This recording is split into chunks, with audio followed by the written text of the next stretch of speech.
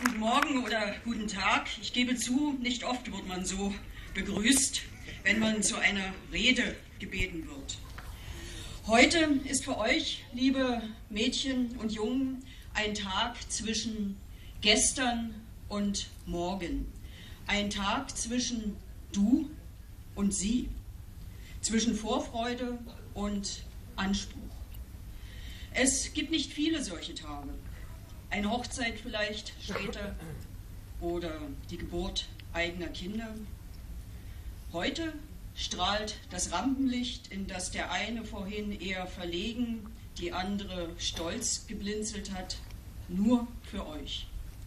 Und natürlich seid ihr heute alle Oscar oder Grand Prix verdächtig und preisgekrönt noch bevor das Jugendweihe-Video fertig ist.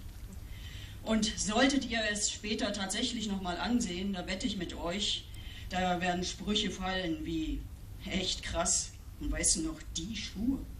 Gott. Das gehört alles dazu. Wie auch die ungewohnte Festkleidung. Manche haben sich ihr neues Outfit hart erstritten. Andere werden ihr Gala-Design schon morgen ganz weit hinten unten im Schrank wieder verstecken. Und sie werden ihre geliebten Jeans anziehen und darin vielleicht nach dem erhöhten Taschengeld kramen. Weil wir gerade beim Geld sind. Sicher habt ihr auch schon hochgerechnet, was da heute so zusammenkommen könnte.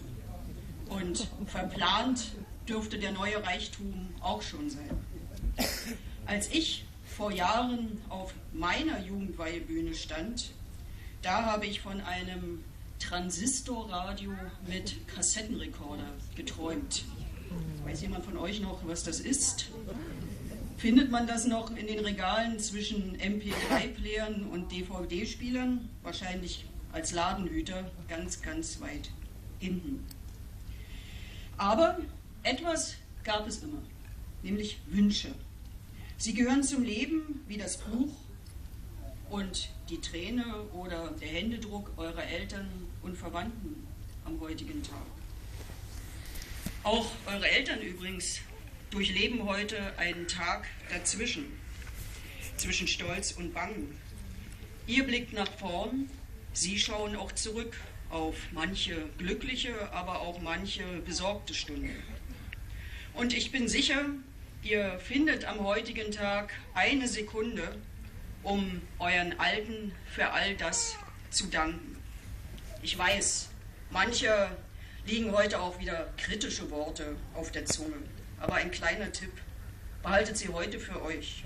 Beim nächsten Streit fällt euch das alles wieder ein. Und Sie, liebe Eltern, auch der nächste Lebensabschnitt Ihres Kindes wird Ihnen viel abverlangen. Neue Fragen werden auftauchen und Sie werden raten wollen, obwohl Ihr Rat nicht immer gefragt ist. Sie werden Rat suchen, obwohl Sie keinen wissen. Und Sie werden Rat geben und hoffen, dass er fruchtet. Und vielleicht werden Sie hören, dass Sie von manchem im Leben nun wirklich überhaupt keine Ahnung haben. Das alles ist nicht sehr angenehm, aber auch das war schon immer so. Doch eines, liebe Eltern und Verwandte, können tatsächlich nur Sie. Nur Sie verstehen die lautlosen Hilferufe, das unsichtbare sich anlehnen ihrer Kinder. Und vorerst können auch nur Sie Ihren Kindern über diesen Tag hinaus die Gewissheit geben, wir sind immer für dich da. Nun zu euch, liebe Mädchen und Jungen. Warum machen wir uns eigentlich all die Mühe heute? Weil wir mit der Jugendweihe Abschied nehmen von der Kindheit und das ist bei fast allen Völkern ein feierlicher Akt. Mir wurde nun heute die Aufgabe zugewiesen, für diese Feierlichkeit zu sorgen und die, der Moderator hat es schon gesagt, dazugehörende Festrede zu halten. Ich habe nachgedacht, was macht man da?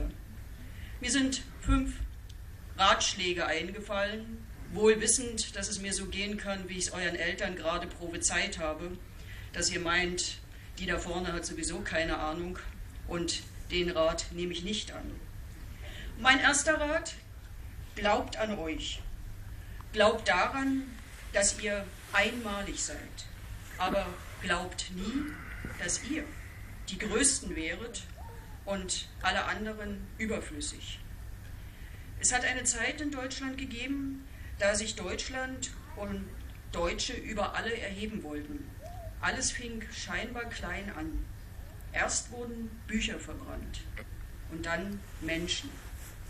Danach schworen die Überlebenden nie wieder und sie mahnten, wehret den Anfängen. Und sie haben recht. Und deshalb möchte ich diesen Rat auch unterstreichen. Im April diesen Jahres wurden von der Polizei in der gesamten Bundesrepublik täglich 35 rechtsextrem motivierte Straftaten registriert. Das waren Schmierereien, das war aber auch Gewalt. Gewalt gegen Menschen, die anders aussehen, die anders leben, die anders lieben. Und deshalb mein Rat, erhebt euch nicht über andere, sondern steht diesen Menschen im Alltag bei. Mein zweiter Rat stammt von Indianern aus Südamerika. Wenn Wichtiges zu entscheiden ist, dann prüfen Sie vorher, was diese Entscheidung für die siebte Generation nach Ihnen bedeutet. Als Sie diese Regel eingeführt haben, war Globalisierung für Sie ein Fremdwort und weltweite Finanz- und Wirtschaftskrisen waren auch unbekannt.